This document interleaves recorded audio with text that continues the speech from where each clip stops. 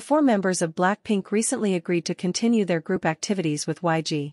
Two of the members have already signed a contract with YG, agreeing to the purpose of continuing Blackpink activities. YG will file an official statement after signing the contract with the rest of the members. However the exclusive contract between each member and YG Entertainment was not made. The members plan to hold individual activities and come together only during Blackpink activities. Meanwhile an old video of Blackpink of two years ago was posted by YGX Dancer. He posted video and pictures of Blackpink with his son. It's so cute and adorable.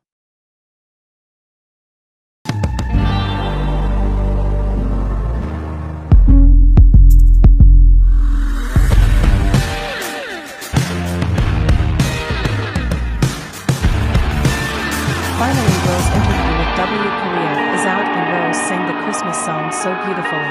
Lions roasting on an open fire. Jack Frost nipping at your nose. Yuletide carols being sung by a choir. And folks dressed up like Eskimos. Everybody knows.